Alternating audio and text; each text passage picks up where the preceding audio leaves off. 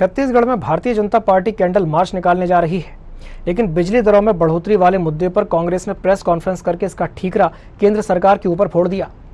कांग्रेस का कहना है कि राज्य में बिजली की दर में बढ़ोतरी के लिए केंद्र सरकार जिम्मेदार है।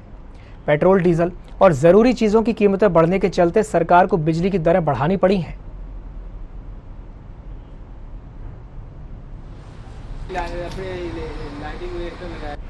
आम जनों के हितों को और आम जनों के आर्थिक उन्नति के रास्ते प्रशस्त करने का काम छत्तीसगढ़ की सरकार माननीय भूपेश बघेल जी के नेतृत्व में कर रही है।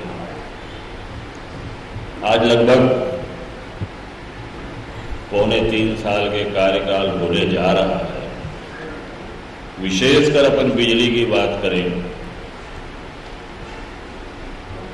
इस समय में उनचालीस दशमलव तिरसठ लाख उपभोक्ताओं को 1822 करोड़ रुपए की राहत बिजली बिल हाफ़ योजना से मिल चुकी है।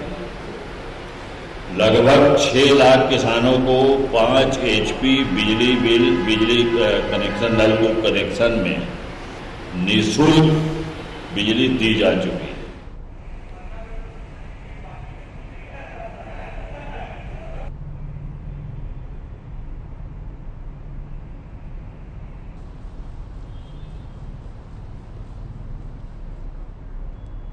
है लाइटिंग लगाया गया। ज़्यादा लाइटिंग होती है तो ये